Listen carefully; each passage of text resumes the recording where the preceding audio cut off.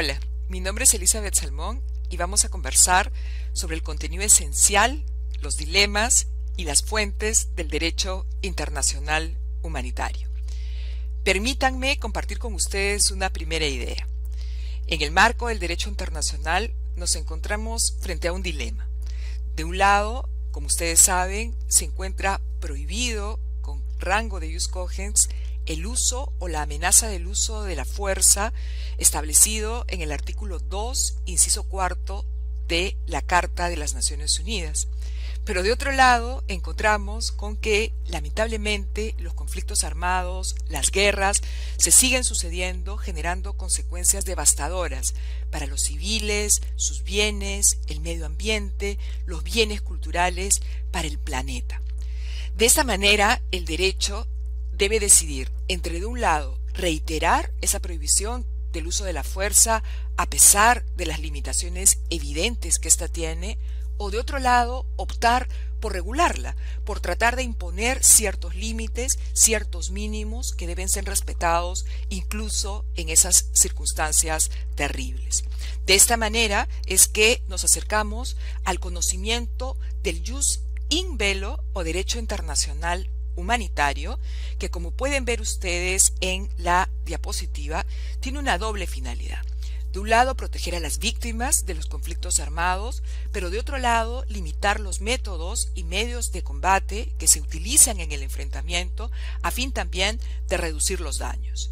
De otro lado, también en esta definición encontramos las fuentes del derecho internacional humanitario, los tratados, las costumbres y vamos a ver también que los principios que forman parte del ordenamiento jurídico básico del derecho internacional humanitario. Una siguiente idea que quisiera eh, señalar eh, con total claridad es que el DIH no se aplica en todo tiempo y lugar. El DIH o jus in velo solamente se aplica cuando existe un conflicto armado. Sin embargo, si nosotros vemos los convenios de Ginebra, sus protocolos adicionales, las reglas consuetudinarias del DIH, no vamos a encontrar allí ninguna definición de conflicto armado. Los estados no pudieron ponerse de acuerdo acerca de la definición, por lo que más bien le correspondió a la jurisprudencia de los tribunales ad hoc y concretamente al Tribunal Penal para la ex Yugoslavia, en este caso fundacional, el caso Tadic, el dar proponer una definición de conflicto armado que luego va a ser reiterada también en el artículo 8 del Estatuto de Roma y que creo, en mi opinión, que genera consensos. Como ustedes pueden ver aquí, nuevamente, encontramos dos elementos determinantes. El primero y más importante es que para que exista un conflicto armado debe haber un uso de la fuerza armada y es eso lo que se señala claramente en este parágrafo. Pero de otro lado también, el eh, Tribunal Penal para la ex Yugoslavia eh, ha señalado una suerte de tipología de conflictos armados, señalando que puede haber enfrentamientos entre estados, en ese caso estaríamos frente a un conflicto armado internacional, podría también insertarse en el enfrentamiento un actor no estatal, enfrentándose al Estado, y en ese caso estamos frente a un conflicto armado no internacional y finalmente deja la puerta abierta para estas otras formas de conflictividad, incluso entre grupos, en el marco de un Estado en una gran crisis como puede ser un Estado fallido. Por eso es que en esta diapositiva les propongo estos tres elementos. El primero, el conflicto armado internacional, que tiene eh, eh, la situación del enfrentamiento típico entre uno, dos o más estados, incluye también la situación de ocupación, cuando un estado, la potencia ocupante, ingresa al territorio del estado ocupado con cierta vocación de permanencia, detentando el control efectivo, sustituyendo a la autoridad nacional sin el consentimiento de ésta en el proceso de toma de las grandes decisiones. Un tercer supuesto es cuando los pueblos luchan contra la dominación colonial, racista o extranjera. Debo señalar que este tercer supuesto se agregó con el protocolo adicional primero del año 1977 y no estuvo originalmente previsto en los convenios de Ginebra de 1949. Los conflictos armados no internacionales, por su lado, van a ser estos en que un grupo lucha contra el Estado por diversos tipos de motivos políticos, religiosos, económicos, etc. Al DIH no le interesan los motivos que pueda tener el grupo ni que puedan tener los estados. Lo que le interesa es la situación fáctica y cómo ingresar a proteger a las víctimas y a evitar el sufrimiento humano y del planeta. En este sentido, eh, va a ser nuevamente la jurisprudencia de los tribunales ad hoc la que va a señalar dos criterios fundamentales para identificar claramente una situación de conflicto armado no internacional. Uno primero es el elemento de la intensidad, es decir, esto que habíamos visto como prolongado se identifica dentro de la duración, frecuencia en que se llevan a cabo actividades de hostilidades de tipo militar por parte del grupo armado, el tipo de armamento que eh, tiene eh, el número de víctimas que huye, por ejemplo, de la zona donde se está enfrentando, entre otros criterios.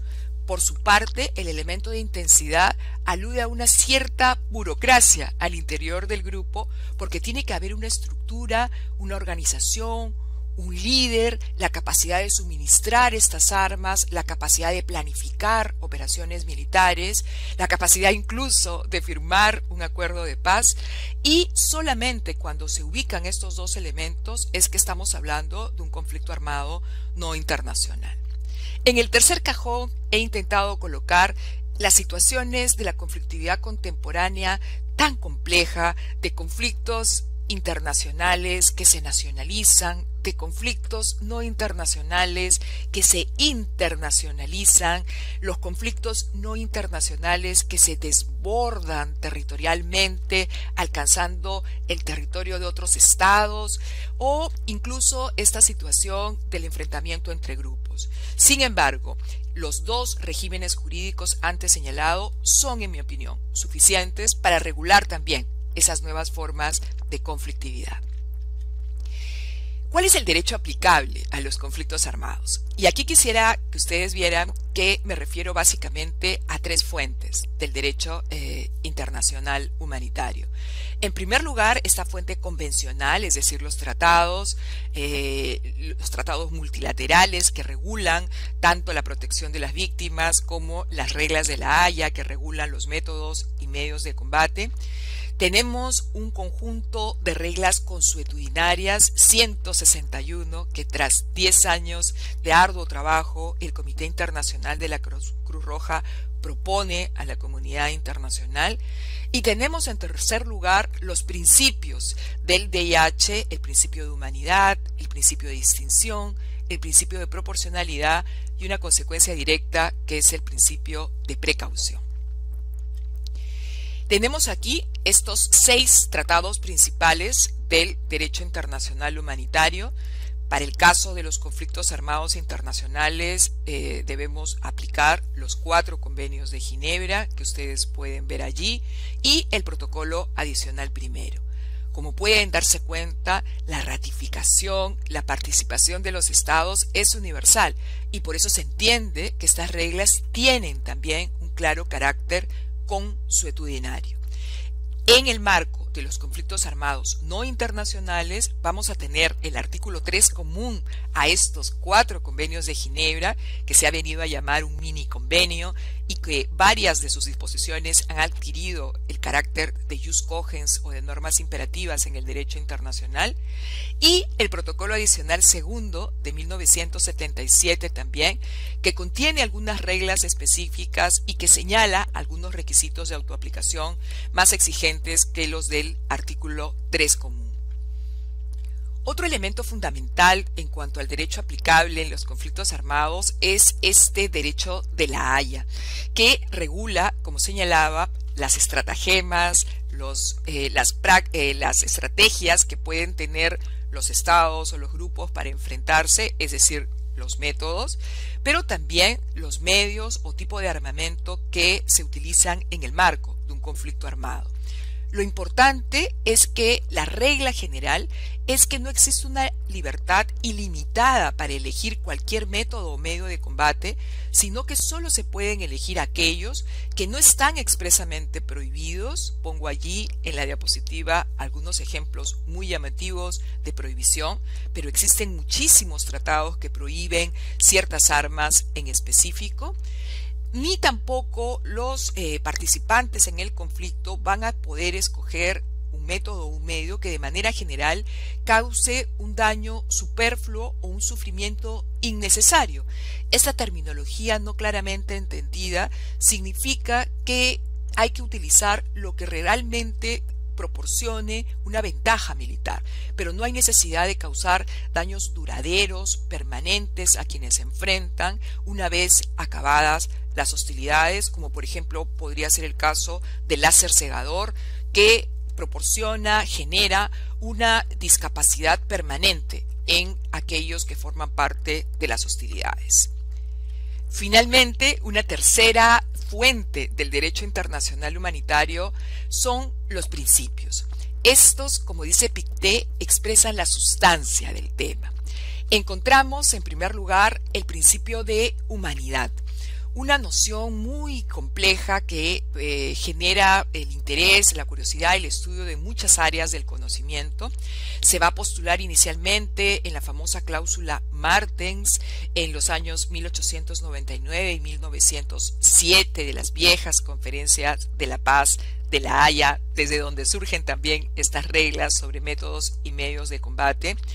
Y en buena cuenta, en la jurisprudencia contemporánea se ha entendido que este principio de humanidad debe identificarse con el principio de dignidad, de trato humano, y en esa medida coincide con una rama muy cercana que es el derecho internacional de los derechos humanos. Los principios de humanidad buscan proteger a todos, incluso cuando, eh, no parece clara la prohibición de un comportamiento en el marco del DIH.